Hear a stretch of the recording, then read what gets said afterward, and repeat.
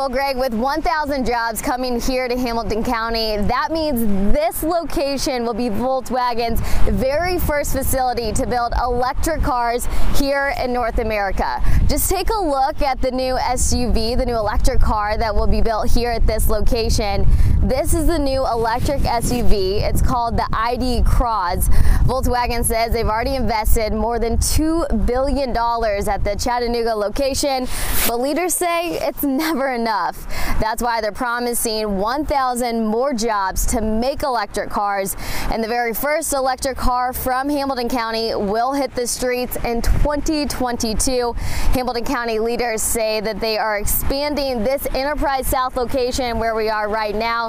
And that means by expanding uh, this investment, that's increasing employment here by 30%. Live at Volkswagen, I'm Kylie Thomas, News Channel 9.